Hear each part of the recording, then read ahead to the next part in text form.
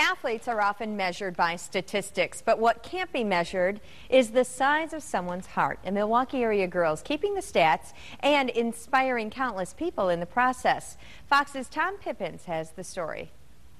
Bill King was with the Milwaukee Bucks for over 20 years. When it came to providing the media with pertinent statistical info, nobody did it better. Kind of helped it that my dad was in with the Bucks and everything, so I kind of grew in that way.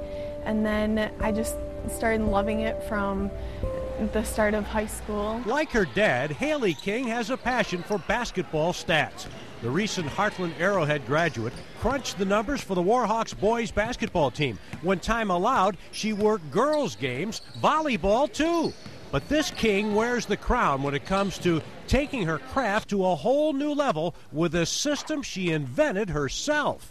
It breaks down the offense and the defense um, into your best teams. So then, if you want to get a quick basket, then it tells you, oh, these are the five players that you should have out on the court during, you know, the last two minutes of game if it's a close game. I use my own computer, own software and everything, so there's other people out there, but they're not using it the way that I'm using it. Haley and Bill King are consultants for a company called Cybersports, which gives information to high school and college teams.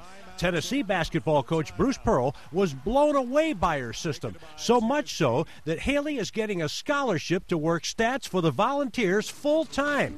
But her story doesn't start and end there. Haley King was born with a rare genetic disorder known as TAR syndrome. From young, I wasn't supposed to get to a year old and overcome that, overcome all the doctors, what they said. They said, oh, no, she's never going to walk overcome that and just a miracle right here. God may take something away, but he also gives you something. And in Haley, he gave her an awful lot of abilities to be able to concentrate, to focus and enthusiasm.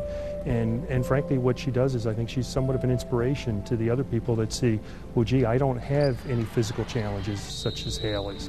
And, uh, you know, I ought to be trying to do my best too, which is what Haley does every day. From day to day, I just think of what I'm grateful for, and everything. So it's fantastic.